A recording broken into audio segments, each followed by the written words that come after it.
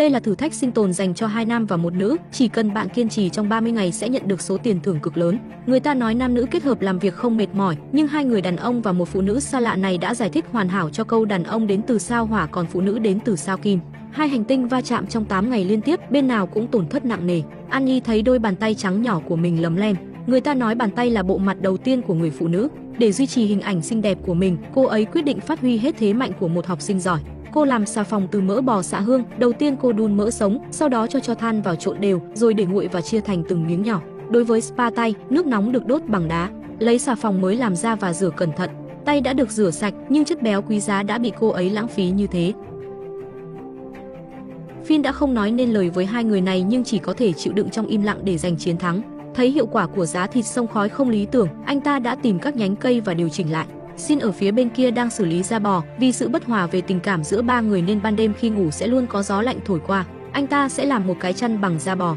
Viên đá trong tay anh ta đã cùn, Phin nói rằng anh ta sẽ ra sông để tìm một viên khác. Anh hy vọng Annie và Xin có thể canh chừng thịt sông khói, không ngờ anh vừa rời đi thì xảy ra tai nạn. Giá nướng thịt của họ đang cháy. Cặp đôi bất lực nhìn ngọn lửa nuốt chừng thức ăn mà không thể làm gì, không thể dập lửa, họ chỉ có thể cầu nguyện cho ngọn lửa đừng lan quá nhanh. Sau khi Phin quay lại, anh ta đứng hình, người ít nói như anh ta lần đầu tiên chửi thề, nhìn miếng thịt bò biến thành than, thành quả mấy ngày vất vả tan thành mây khói, trong lòng anh có chút suy sụp. Xin nhanh chóng giải thích rằng anh ta đang làm chăn ra nên không chú ý. Annie không dám nói gì về việc làm xà phòng, chỉ nói rằng cô ấy bận nghiên cứu khoa học.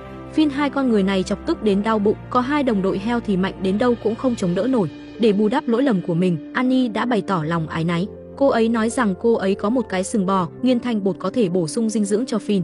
Nghe vậy, xin kéo mũ của mình lại, công việc cực nhọc cuối cùng vẫn rơi vào tay Phin, còn anh chỉ nói miệng chứ chẳng nhúc nhích. Không có gì buồn hơn là bị bệnh còn phải tự say thuốc. Nghĩ lại những điều kinh tởm mà cặp đôi này đã làm trong nửa tháng qua, Phin ói một trận và cuối cùng quyết định rời đi. Xin nói rằng anh ta không thể sống thiếu anh ta, Annie buồn bã khóc, cả ba ôm nhau thật chặt. Thành viên cốt cán đã rút khỏi đội, hai tay trèo còn lại phải làm sao? Cho bạn một con bò và hai người bạn, miễn là bạn có thể sống ở Bắc Cực trong 30 ngày, bạn sẽ có một số tiền thưởng khổng lồ. Bạn có tự tin rằng mình sẽ thành công không? Đừng vội nói quá dễ, Finn đã gặp phải đồng đội không đáng tin và bực tức rút lui khỏi thử thách. Sin và Annie bị ngồi trên cọc gỗ, hai người luôn bất đồng quan điểm, họ sẽ trải qua 15 ngày tới như thế nào. Annie hy vọng Sin có thể gồng gánh gia đình này. Chúng ta sẽ ổn chứ, Sin. Sin cũng đau đầu trước người phụ nữ này, chỉ xoay lưng rời đi hóng gió. Sau đó anh đã tìm thấy phân nai tươi, cứ nghĩ anh ta sẽ hào hứng rượt đuổi, nhưng anh ta nói với tôi rằng nai sừng tấm đang động dục rất nguy hiểm và không nên đến gần. Chúng ta trốn càng xa càng tốt. Xin đúng là nhát cái. Buổi tối Xin đang ngủ rất ngon, Xin Xin, Annie hốt hoảng đánh thức Xin, cô nói rằng một con nai sừng tấm đã vào trại của họ. Tôi nghĩ rằng đây là sự sắp xếp đặc biệt của nhóm chương trình để bù đắp cho việc thịt bò bị cháy. Nhưng hai người lại khiếp sợ thịt lớn giao đến tận cửa. Nai sừng tấm muốn kết bạn với họ cũng thấy chán, nhìn được một lúc rồi bỏ đi. Annie cuối cùng cũng thở phào nhẹ nhõm sau khi nhìn thấy Nai sừng tấm rời đi. Đây là chuyện tốt, tôi không muốn có nai được trong trại của chúng tôi. Đây là lần đầu tiên sau hơn 10 ngày, hai người có ăn ý như vậy. Gấu người ta còn dám bắt mà hai người lại sợ một con nai. Cứ tiếp tục thế này thì sẽ không thể chống đỡ được nữa. Ngày thứ 20, cả hai đều đói và sụt cân rất nhiều để duy trì lượng calo và tiết kiệm nguyên liệu. Xin đề xuất làm món bánh mì thịt với thịt bò xay và quả mọng. Đó là một ý kiến hay, Annie đồng ý với anh ta. Cả hai bắt đầu tìm kiếm thịt vụn trên xương bò. Đó là một ý kiến hay và Annie đồng ý với anh ta. Cả hai bắt đầu tìm kiếm thịt băm trên xương que bò.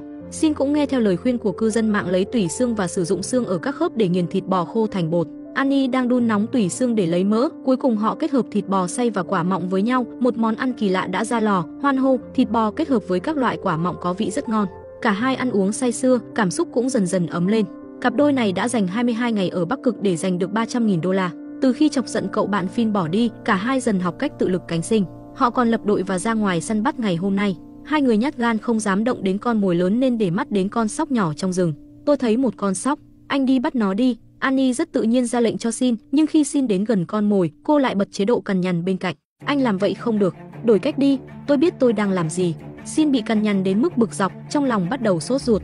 Những con sóc cũng chạy vào rừng trong sợ hãi. Annie thậm chí còn không hài lòng hơn. Tôi là chuyên gia về mảng này, tôi đã nói là như vậy không ổn rồi. Nếu anh sẽ tốt hơn nhiều nếu cô không bảo tôi phải làm thế nào. Xin cuối cùng không nhịn được bùng nổ, ngọn lửa chiến tranh giữa hai bên lại bùng lên. Khó khăn lắm mới tìm thấy một con sóc, kết quả là cả hai chỉ biết cãi nhau, cuối cùng đành nhìn con sóc bỏ chạy. Lúc này, Xin dường như hiểu được tâm tình khi rời đi của Finn. Bắt sóc thất bại, Xin rời mục tiêu xuống hồ. Anh ta đi xuống dưới dòng nước lạnh để làm bẫy câu, cắm vài cành cây xuống nước để tạo thành một con đê, lối vào lớn nhưng lối ra nhỏ, cá bơi vào rồi không ra được. Để bắt được cá, Xin tê cứng tay chân dưới nước. Annie đứng bên bờ và liên tục phàn nàn rằng anh ta đang lấy lương thực quý giá làm mồi cho cá. Nhìn vẻ mặt chán ghét của Annie, Xin càng nhớ Phin hơn. Ngày hôm sau họ đi kiểm tra bẫy với hy vọng đã tốn nhiều thời gian và sức lực mà không bắt được một con cá nào thì có lỗi với bản thân lắm. Xin chịu đựng cái lạnh và mò mẫm trong nước một lúc lâu, không một con cá nào bị bắt cả. Annie đứng sang một bên không muốn giúp, cô chỉ cảm thấy Xin đang lãng phí miếng mồi. Trong vài ngày tiếp theo, chỉ có Xin bị ám ảnh bởi việc bắt cá, nhưng kết quả vẫn như trước, không thu được gì, thậm chí cái bẫy cũng bị hỏng. Hai người chỉ có thể ăn chút thịt khô cầm cự đến cuối cùng. Bộ ba này thật thú vị, người nói ít thì tức giận bỏ đi, kẻ ồn ào lại đi đến cuối cùng. Vì vậy, người sẵn sàng ở lại và cãi nhau với bạn mới là tình yêu đích thực. Sin và Annie, đôi tình nhân hạnh phúc, cuối cùng đã giành được giải thưởng lớn trị giá 300.000 đô la. Về phần Finn, chỉ có thể chúc anh lần sau sẽ gặp được những người đồng đội đáng tin cậy hơn. Lưu ý rằng câu chuyện trong video đã được thêm thắt biến tấu một số chi tiết để lôi cuốn hơn. Được rồi, video tạm dừng tại đây. Nếu bạn thấy video này hữu ích thì nhớ nhấn like và theo dõi kênh để đón chờ những video hấp dẫn tiếp theo nhé. Hẹn gặp lại các bạn trong những video tiếp theo.